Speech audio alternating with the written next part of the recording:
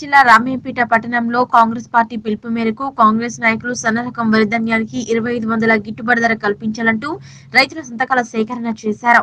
ఈ సందర్భంగా రైతులు మాట్లాడుతూ సీఎం కేసీఆర్ రైతులకు సన్న రకం వరి పంట వేయాలంటూ తాను మాత్రం ఫామ్ హౌస్లో దొడ్డు రకం వరిధాన్యాన్ని పంట పండించడం ఇంతవరకు సమంజసమంటూ సీఎం కేసీఆర్ పై తీవ్ర స్థాయిలో మండిపడ్డారు. అలాగే రాష్ట్ర కిసాన్ సెల్ అధ్యక్షులు అన్వేష్ రెడ్డి మెదక్ పార్లమెంట్ ఇన్ఛార్జ్ గాలి అనిల్ కుమార్ జిల్లా అధ్యక్షులు తిరుపతి రెడ్డి జిల్లా నాయకులు రమేష్ రెడ్డి రామచందర్ గౌడ్ మాట్లాడుతూ రైతుల కోరిక మేరకు గిట్టుబాటు ధర కల్పించకపోతే ఈ నెల పన్నెండున కలెక్టరేట్ ముట్టడి జరుగుతుందన్నారు.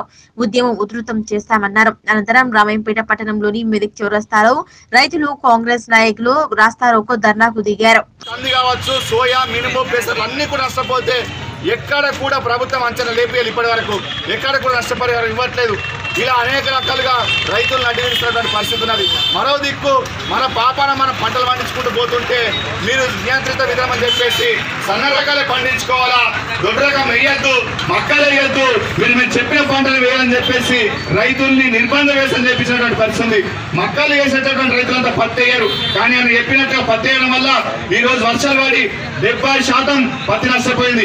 ఎక్కడ కానీ దిగుబడి వచ్చే పరిస్థితి లేదు. వాళ్ళని ఆదుకోవడానికి పాపన పోలేదు. ఇవాళ సన్న రకాలు పెట్టామని చెప్పడం వల్ల అనేక మంది రైతులు రైతు బంధు ఇయ్యలేమని చెప్పేసి లేకుంటే పెట్టిన పంట కొనుగోలు చేయడమని చెప్పేసి పోరాడుతుందని చెప్పి ఈ సందర్భంగా తెలియజేస్తూ మరి రేపు పన్నెండో తారీఖు రోజు మరి భారీ ఎత్తున రైతులమంతా మూకుమడిగా కలెక్టర్ ఆఫీసుల ముందు ధర్నా చేయాలని చెప్పి మరి మన రాష్ట్ర అధ్యక్షుడు పిలిపించడం జరిగింది.